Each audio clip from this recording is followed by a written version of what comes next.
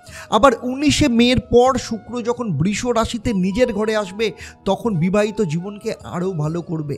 সেই সাথে আপনার স্বামী বা স্ত্রী তার কেরিয়ারের দিক থেকে কোনো সুখবর পেতে পারেন। আপনারা পরিবারের সাথে কোনো ধর্মীয় স্থানে যাত্রা করতে পারেন। সেই সাথে বলব, এই মাসে যদি আপনি কোনো বড় কাজ করতে চান বা মাঙ্গলিক কাজ করাতে চান, সেক্ষেত্রে বৃহস্পতির সহায়তা আপনি যথেষ্ট পরিমাণে পাবেন। সেই সাথে পড়াশোনা কিংবা কোনো অ্যাক্টিভিটিসের দিক থেকে আপনার সন্তানের পারফরমেন্স কিন্তু যথেষ্ট ভালো থাকবে।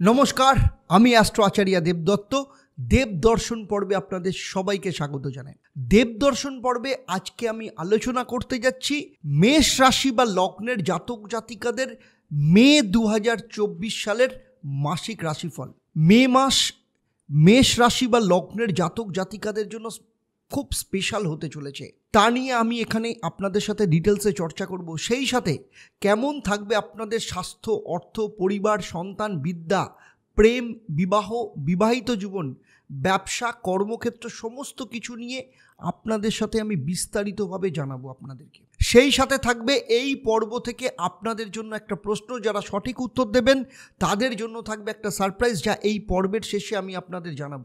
সেই সাথে আপনারা জানতে পারবেন মে মাসে আপনাদের শুভ রং এবং কি মহা উপায় আপনারা পালন করবেন, যাতে আপনাদের জীবনে সফলতাকে আপনারা আরও বেশি করে কাজে লাগাতে পারবেন। তাই পুরো ভিডিওটা খুব মন দিয়ে দেখবেন। মে মাস ভীষণ স্পেশাল আপনাদের জন্য, কারণ এই মাসের এক তারিখে বৃহস্পতির রাশি পরিবর্তন হচ্ছে। সেই সাথে এই মাসে শুক্র, বুধ, রবি এই তিনটে গ্রহেরই রাশি পরিবর্তন করবে। সব থেকে বড় কথা, বারো বছর বাদে বৃহস্পতি মেষ রাশি থেকে বৃষ রাশিতে, অর্থাৎ আপনার রাশি বা লগ্ন সাপেক্ষে বৃহস্পতি বারো বছর বাদে দ্বিতীয় স্থানে প্রবেশ করবে। পুরাণে বলা আছে, দ্বিতীয় গোচরে জীবা, স্বাস্থ্য কষ্ট, ধন বৃদ্ধি, দায়কা। সুতরাং যখন বৃহস্পতির দ্বিতীয়ভাবে ট্রানজিট হবে, তখন হেলথ সংক্রান্ত কিছু সমস্যা দেখা দিতে পারে, যেমন ব্লাড প্রেশার কোলেস্টেরল ডিপ্রেশন এই সমস্যা বৃহস্পতি গোচরের জন্য মেষ রাশি বা লগ্নের জাতক জাতিকাতে দেখা দিতে পারে। তবে অর্থ পদোন্নতি কর্মক্ষেত্রে বৃদ্ধি, এই সমস্ত কিছু বৃহস্পতির দ্বারা সম্ভব হবে। এবার দেখে নেব মে মাস যখন শুরু হবে, তখন মেষ রাশি বা লগ্ন সাপেক্ষে নবগ্রহের অবস্থান ঠিক এই রকম থাকবে। রবি এবং শুক্র দুজনেই আপনার প্রথম ভাব অর্থাৎ মেষ রাশিতে অবস্থান করবে। মেষ রাশিতে রবি তুঙ্গস্থ, তবে চোদ্দই মে রবি এবং শুক্র উনিশে মে মেষ রাশি ত্যাগ করে বৃষ রাশিতে প্রবেশ করবে। বৃহস্পতি দ্বিতীয় অর্থাৎ বৃষ রাশিতে অবস্থান করছে। ষষ্ঠ স্থানে কেতু বসে রয়েছে, কন্যা রাশিতে। কুম্ভ রাশি অর্থাৎ আপনার একাদশ স্থান বা লাভভাবে শনি অবস্থান করছেন। বুধ, মঙ্গল, রাহু তিনজনে দ্বাদশ স্থান অর্থাৎ মিন রাশিতে বসে আছে। তবে বুধ এগারোই মে পুনরায় মেষ রাশিতে চলে যাবে। মেষ রাশির অধিপতি গ্রহ হল মঙ্গল, যে দ্বাদশ স্থানে অর্থাৎ মিন রাশিতে পুরো মে মাস অবস্থান করবে। দ্বাদশ স্থান রাশিচক্রের অশুভ স্থান হিসেবে মানা হয়, ফলে আপনার শরীর স্বাস্থ্য ইমিউন সিস্টেম দুর্বল থাকবে, সেখানে রাহুর সাথে যুক্ত থাকবে। এর পাশাপাশি যেহেতু মেষ রাশিতে রবি, শুক্র দুজনেই একসাথে বসে রয়েছে, ফলে স্কিনের সমস্যা, অ্যালার্জির সমস্যা, সর্দি কাশির সমস্যা, মাথার যন্ত্রণা পাইলসের সমস্যা, এই ধরনের সমস্যায় ভোগার সম্ভাবনা রয়েছে। সেই সাথে পড়ে গিয়ে চোট আঘাত লাগারও সম্ভাবনা দেখতে পাওয়া যাচ্ছে। তাই নিজেদের শরীর স্বাস্থ্যের ব্যাপারে কিন্তু যথেষ্ট সতর্ক থাকতে হবে। আর্থিক দিক থেকে দেখতে গেলে মেষ রাশি বা লগ্নের জাতক জাতিকাদের ক্ষেত্রে যেহেতু বৃহস্পতি আপনার দ্বিতীয় স্থানে গোচর করছে, তাই হঠাৎ করে আপনার বড় কোনো অর্থ লাভ হতে পারে। তবে এগারোই মের পর বৃহস্পতি যখন অস্ত যাবে, তখন আপনার অর্থের ব্যাপারে কিছুটা সতর্ক থাকতে হবে। সেই সাথে আপনার একটু বেশি খরচা হওয়ার সম্ভাবনা রয়েছে। এর পাশাপাশি শেয়ার বা ইনভেস্টমেন্টে সামান্য লস হবার যোগ দেখতে পাওয়া যাচ্ছে। তাই এই সময় আপনি অর্থ সংক্রান্ত কোনো বিষয়ে চটজলদি ডিসিশান নেবেন না। সেই সাথে বড় অঙ্কের কোনো টাকা কাউকে ধার দেবেন না, কারণ সেই টাকা চোর যাওয়ার সম্ভাবনা রয়েছে। তাই সার্বিকভাবে দেখতে গেলে মে মাসের দশ তারিখ পর্যন্ত আর্থিক দিক থেকে আপনার যথেষ্ট লাভ হলেও এগারো তারিখের পর আর্থিক দিক থেকে লেনদেনের ব্যাপারে আপনাকে সতর্ক থাকতে হবে। পারিবারিক দিক থেকে দেখতে গেলে বাবা মায়ের সাথে কোনো ক্ষেত্রে আপনার বাদ বিবাদ হতে পারে, মায়ের শরীর স্বাস্থ্যের ব্যাপারে সমস্যা দেখা দিতে পারে, তবে পরিবারের অন্য দিক থেকে আপনার কিন্তু যথেষ্ট ভালো যাবে। যেসব মেষ রাশি বা লগ্নের জাতক জাতিকাদের সন্তান আছে, যেহেতু পঞ্চম স্থানের অধিপতি গ্রহ রবি বর্তমানে আপনার রাশিতে, অর্থাৎ কেন্দ্রস্থানে তুঙ্গস্থ অবস্থায় রয়েছে, আপনাদের সন্তানের দিক থেকে মে মাস যথেষ্ট শুভ ফলদায়ক। যাদের সন্তানের বয়স আঠেরো বছরের নিচে, তাদের আপনার তরফ থেকে কোনো ইচ্ছা পূরণ হতে পারে, সেই সাথে পড়াশোনা কিংবা কোনো অ্যাক্টিভিটিসের দিক থেকে আপনার সন্তানের পারফরমেন্স কিন্তু যথেষ্ট ভালো থাকবে। কোনো অ্যাচিভমেন্ট তার লাভ হতে পারে, কিংবা সে যদি কোনো স্পোর্টসের সাথে যুক্ত থাকে, সেখানে তার মেডেল কিংবা অ্যাওয়ার্ড পাওয়ার যোগও দেখতে পাওয়া যাচ্ছে। এর পাশাপাশি মে মাসে তাদের শারীরিক দিক থেকে আপনার সন্তানের কান বা গলার সমস্যা অ্যালার্জি কিংবা স্কিনের সমস্যা থাকতে পারে। তাই শরীরের দিক থেকে কিছুটা সমস্যা থাকলেও বাকি পড়াশোনা কিংবা কেরিয়ারের দিক থেকে যথেষ্ট শুভ যাবে। যাদের সন্তানের বয়স আঠেরো বছরের ওপর, তাদের উচ্চশিক্ষা কিংবা কেরিয়ারের দিক থেকে যথেষ্ট সুখবর প্রাপ্তি হবে। তারা যদি চাকরি করে, সেখানে পদোন্নতির যোগ রয়েছে। নতুন চাকরির অফার আসবে কিংবা বস বা ম্যানেজমেন্টের দ্বারা কোনো অ্যাচিভমেন্ট লাভ হতে পারে। সুতরাং সার্বিকভাবে দেখতে গেলে সন্তানের দিক থেকে মে মাস যথেষ্ট লাভদায়ক। যারা ফ্যামিলি প্ল্যানিং করছেন বা কোনো সন্তান নেওয়ার চেষ্টা করছেন, তাদের ক্ষেত্রে চোদ্দোই মের আগে যথেষ্ট ফল পাওয়া গেলেও চোদ্দোই মের পর সেই ফল লাভের সম্ভাবনা আরও বাড়বে। পঞ্চম স্থান বিদ্যাস্থানকেও নির্দেশ করে। একইভাবে পঞ্চম স্থান অর্থাৎ সিংহ রাশির অধিপতি রবি বর্তমানে আপনার প্রথমভাবে তুঙ্গস্থ অবস্থা অবস্থান করছে এবং চোদ্দোই মে অবধি এখানে অবস্থান করবে। তারপর আপনার দ্বিতীয় ভাব অর্থাৎ বৃষ রাশিতে চলে যাবে। যেহেতু চোদ্দোই মে আগে অবধি আপনার রবি তুঙ্গস্থ অবস্থায় থাকবে এই সময় তাই যদি কোনো রকম পরীক্ষা থাকে তাহলে ভালো ফল পাবে। সেই সাথে কোনো সরকারি পরীক্ষা বা ইন্টারভিউ যদি থাকে সেখানেও সফলতা প্রাপ্তির যোগ দেখতে পাওয়া যাচ্ছে। এই সময় ফর্ম ফিল আপ করাও শুভ হবে। তবে চোদ্দোই মেয়ের পর রবি যখন বৃষ রাশিতে দ্বিতীয় স্থানে চলে যাবে, সেই সময়ও কিন্তু যথেষ্ট ভালো ফল পাওয়া যাবে। এই সময় বাবা মায়ের দ্বারা কোনো লাভ হতে পারে। প্রেম বা লাভ রিলেশনের ক্ষেত্রে বলব, পঞ্চম স্থান লাভ রিলেশনকেও নির্দেশ করে।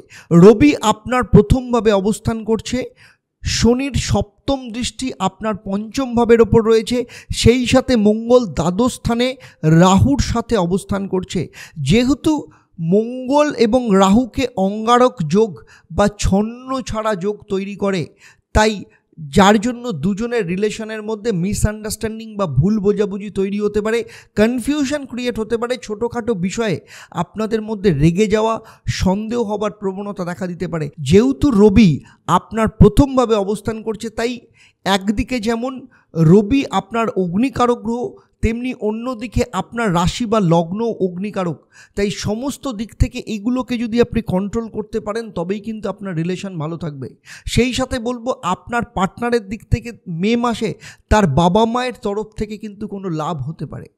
এবারে আসব বিবাহ এবং বিবাহিত জীবনের ব্যাপারে। সপ্তম ভাব বিবাহ এবং বিবাহিত জীবনকে নির্দেশ করে।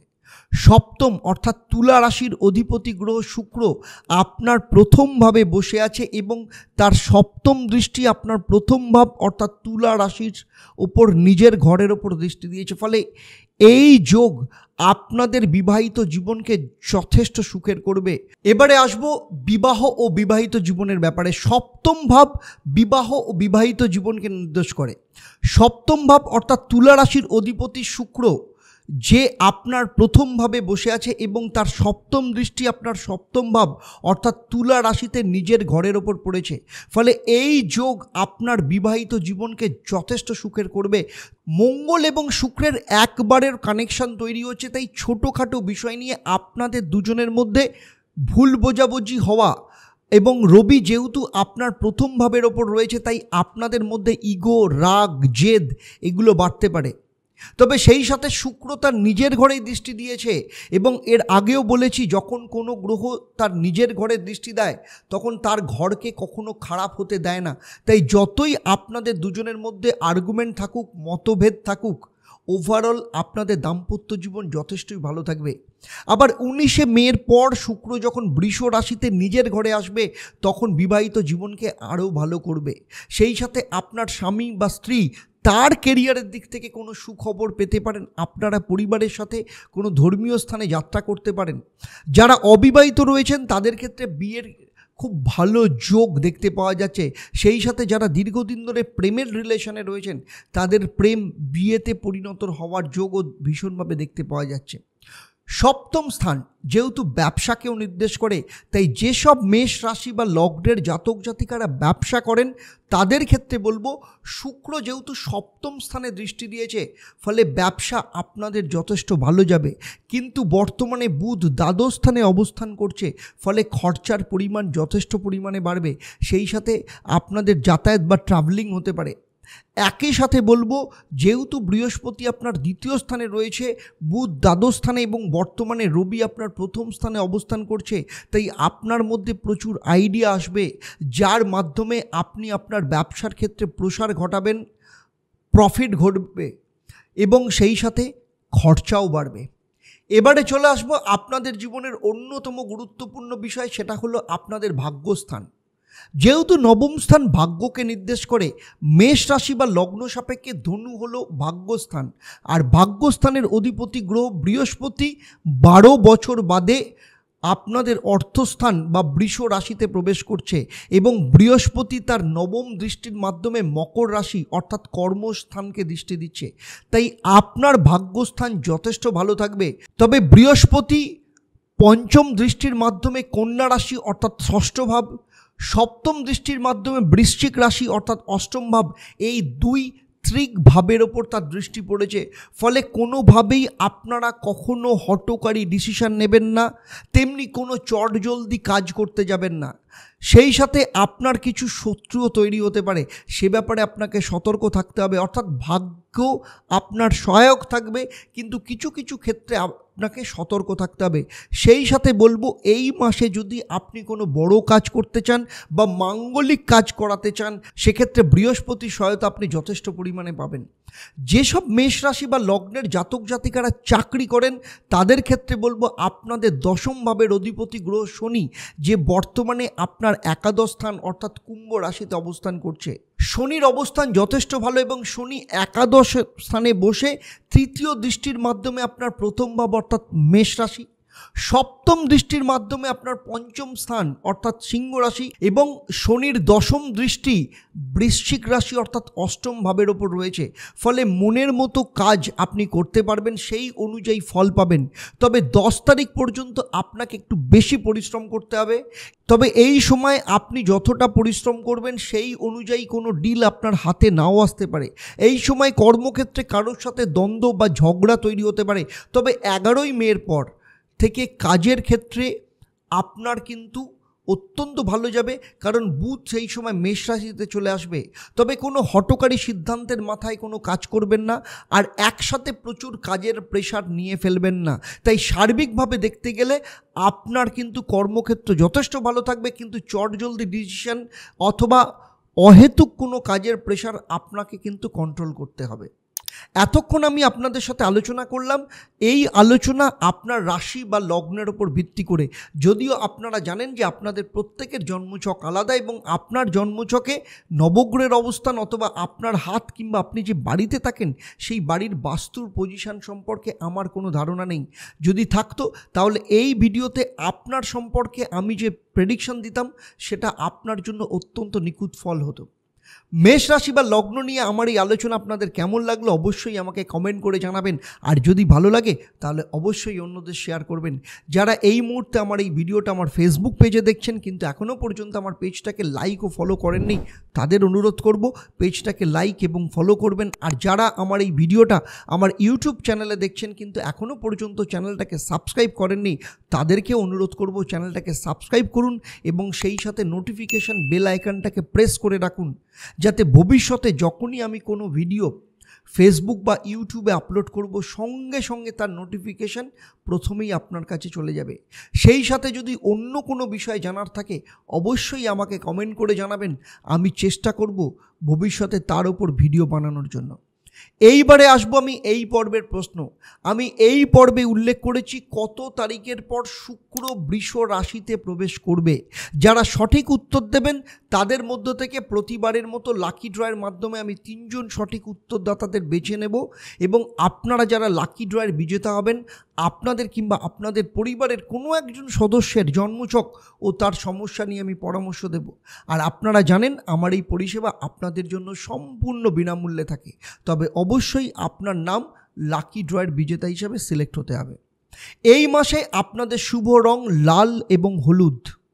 এবারে আসব আপনারা কি মহা উপায় পালন করবেন যাতে একদিকে আপনাদের জীবনের শুভ সময়কে আসতে সাহায্য করবে, অন্যদিকে যা কিছু সমস্যা রয়েছে সেগুলোকে প্রতিহত করে আপনাকে আপনার সফলতার দিকে নিয়ে যাবে। প্রতিদিন নিয়ম করে মঙ্গলের বীজ মন্ত্র একশো আটবার পাঠ করবেন। ওম ক্রাং ক্রিং ক্রং স্বাহ। ভূমায় নামাহা প্রতিদিন বৃহস্পতির বীজ মন্ত্র একশো আটবার পাঠ করবেন। ওম গ্রাং গ্রিং গ্রোং স্বাহ গুরুভাই নমাহা সেই সাথে প্রতিদিন নিয়ম করে হনুমান চল্লিশা পাঠ করবেন।